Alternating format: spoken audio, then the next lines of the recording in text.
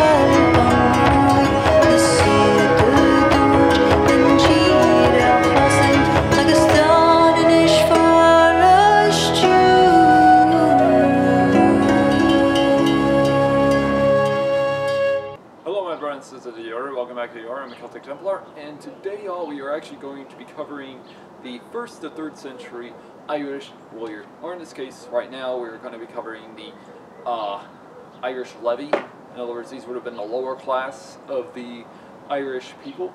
These would have been pretty much the everyday farmer, if you would, or uh, pretty much it's into that form. So yeah, this would have been a fisherman, a farmer, or any of the lower class of warriors. Because you would have your noblemen, you would have your warriors, your everyday warriors, which are known as the Fingyi, and then you would also have the lower class levy units. Now, these guys would have been an everyday uh, person and such. These guys would have been, uh, well, you pretty much guessed it, a uh, typically the well the home defense unit. Now there are many accounts that actually state that these warriors would have been used to defend the homestead or such like that. In fact, they would have hardly ever been used in battle unless, say, for example, an invading army attacks you. So yeah. Now, in doing so, though, there are many accounts that also stated that they would have also been used in campaigns in order to fight against, well, say, another group of people. Say, for example, if there are more Finian warriors or more Irish born warriors, then in doing so, of the lower class, I would be told by my liege lord to, or by my noble lord, to come and fight alongside him. And in doing so, I might earn a little bit of reputation and be welcomed into the ranks of the Finian. So, yeah. Now, what equipment did these warriors use? Well, that's the thing, there's very little information, especially prior before the first century. Our best estimation is that these warriors would have worn very little equipment and very little armor. The only armor they probably would have worn or used would have been that of a shield. Now, their shields though would have been made out of wicker and hide, in doing so, if you don't know how these shields were, think of the Bronze Age. In doing so, majority of their weapons would actually be bronze, not steel or iron. Now I remember you know, pretty already saying, "Oh, Templar, you're cheating then." Well, that's because there's not much it, uh, well, designs or evidence that actually shows of equipment they would use. So I can't exactly go in and you know buy this equipment or not. Saying to the fact I don't know, or in fact we don't know, of the majority of equipment. So yeah. Uh, but to any of y'all who don't know much about the Irish warriors in history, this is going to be covering from the first to third century, and then hopefully soon we will get into the later periods, such as during the time of the third to fifth or probably sixth and seventh century. Then we'll go on to the later Dark Ages, known as the time of the Viking Age, and we'll probably continue on from there. So yeah. So, what was the everyday equipment that these warriors would have pretty much used? Well, you pretty much end up seeing me using spears. That would be the most obvious. Now, though, one weapon though that they would probably also use in major form would also be this a club. Now, before anyone starts saying, "Hey, Templar, it's a club. It's not going to do anything." Here's the thing: if you get whacked in the head enough, hard enough, you can kill somebody with a war club. In fact, take the infamous uh, tale of Cuchulainn, who used a club, a, a sporting club, to kill a hound. Now, this is not a normal hound, this is an Irish wolfhound, and these guys are big, and these guys will pretty much bite. And it's actually stated that Cuchulainn beat him with one stroke to the head. Now, that's saying something. So this is a dog's head, and it's going to be slightly denser than a human's skull. So yeah. Now though, this is a finished model of what it could end up looking like. Uh, non-finished models will look more like this. Now, I can already hear many people already saying, "Well, that's a stick." Here's the thing: just because it looks like a stick doesn't mean it's just a stick. In fact, wooden clubs are probably the most dangerous weapons you can get hit with on the battlefield. In fact, I could have carved this from a certain birch tree or some sort of tree, and in doing so, made a said club. In fact, this already has a fierce looking head on the top, so just imagine if I took it and whacked somebody in the head with it. It will still be a dangerous weapon. In fact, listen to how dangerous this is, sounds. Now, I don't know if y'all can hear that, but that is scary. And just imagine hearing that on the battlefield. As well, this one is slightly longer than my, uh, my, uh, club. And in doing so, I could probably use two hands with this. So, this could still be a very dangerous weapon on the battlefield.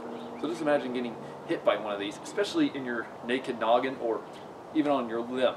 Now here's the thing, I hear many people already saying, well, but Templar, what's a club going to do to a limb? Here's the thing, what wouldn't it do? It will break bone.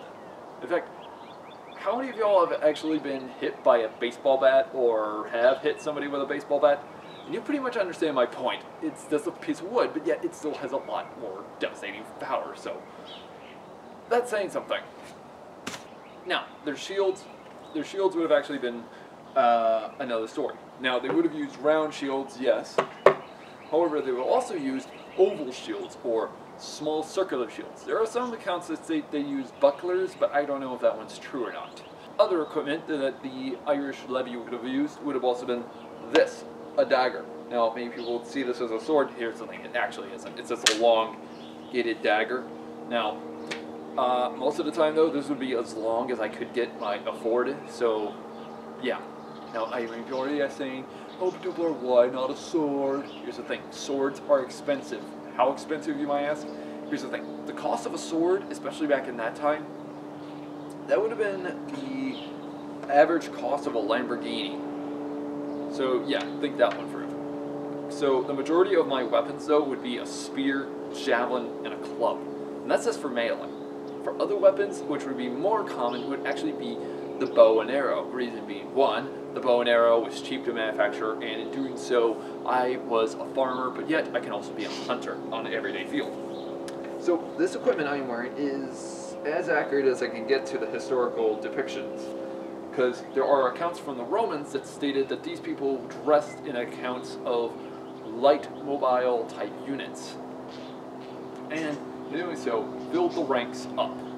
Now, I hear maybe already asking though, uh, but Templar, what about their. Did they use axes? No. Irish warriors didn't. I, the Irish never used axes unless it was in case, say, for example, they were being attacked on their homestead and they had no other case of self defense. So, yeah, use the axe in just in case.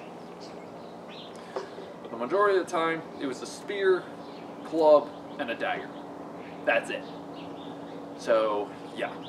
Now, I hear maybe already asking, but where's your helmet? Where's your armor? As I said, I'm a farmer. I can't afford those things. In doing so, I have to survive. For me and my family. But, how about we get right into the video, shall we?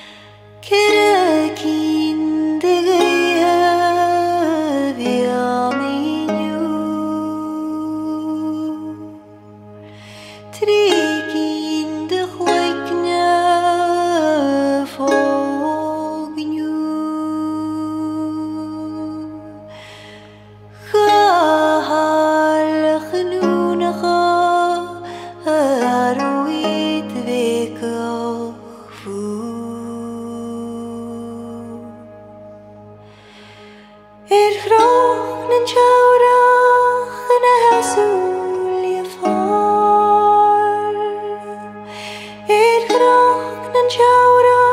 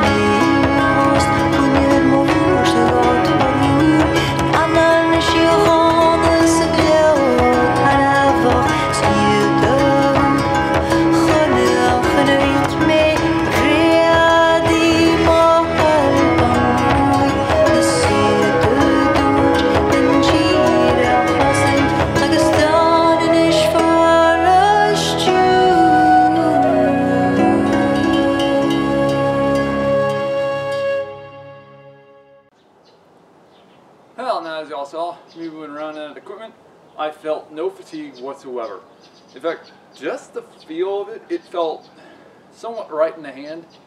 And using some of the equipment, I can see why this was actually, they were nicknamed the Lightfoot of the Irish. Now, there is some accounts also to state that the majority of the warriors in battle always used javelins and spears. In fact, at the very end of the tale of Cuchulainn, there's a statement that always shows that they threw javelin after javelin at each other and came in at each other with spears and fought each other and Cuchulainn finished off his old friend using the diabolicum, which is apparently a technique that apparently has thorns protrude from the body, which I don't even know if that one uh, makes any sense, so yeah. Uh, but the Celtic spearheads were by far one of the most horrifying, and most of these would have made out of bronze, so let's think that one through. Now, the term javelin after javelin at each other stated that these men would have uh, even had bundles of javelins in their hands while, while they held their shield. Now, there are also accounts that even stated that when a warrior threw his javelin at another opponent, the opponent could end up catching it and then in return threw it right back. So just imagine how horrifying of a battle that would have been. You end up throwing your javelin, but then you end up hearing that the javelin's getting thrown right back at you. So, uh, yeah, that's uh, kind of scary just thinking about that. Now, as you all saw though, most of the time I was not using an oval shield, I was mostly using the round shield, and I rarely used my club. That's because I had to rely mostly on this weapon. This is my weapon. It is meant for defense. It is meant for also offense. This is a last ditch weapon if I have it, no other choice. Now, y'all probably also saw with me with the bow, I was kind of struggling. It's cold outside, and unfortunately, weather, the cold weather is not the best for the fingers nor the toes. In fact, it's like 40 something degrees and my uh, Celtic footwear is become soaked right now and it's freezing. So hopefully I don't lose the toes. so yeah. Uh, as well, y'all, I also forgot to mention, they would also use, uh, instead of also the uh, bow, there are accounts that even shepherd herders that were in the mix of the levy units could have actually used slings. Slings were the most ancient weapons. There are also accounts of a crooked wood. Now, I don't know what that means per se, because this one was written down by Romans, but it stated that a young boy was practicing with a crooked piece of wood and threw it. Now, this sounds like something like a boomerang, if I'm not mistaken. But we don't know much evidence of what it could have been. All we know is that apparently he threw it and it came right back. So that sounds like a boomerang.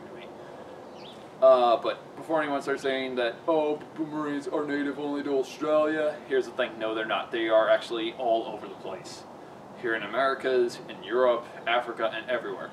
So, before y'all think, oh, it's only native to Australia, it's not. The same can be said about the sling, the bow, the spear, any type of weapon. They were used originally for hunting use, then they were later used for killing. So, yeah. But that's pretty much the thing about it.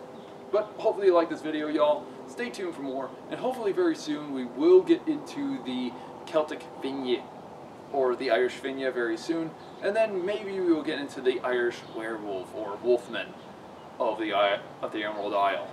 So, and then finally on to the Celtic Noble. Anyways guys, hope to see y'all in the next one. Like and subscribe for more. Hope to see y'all very soon. And if y'all have any type of warriors from history y'all want me to look up, please let me know in the comments below. We will be going back into other videos per se, other series. We might even go back to the Welsh. We might go back to the Scots. We might go back to the Germans and such and do our how-to videos from there as well. Anyways guys, like and subscribe for more. Hope to see you all in the next one, and have a great day.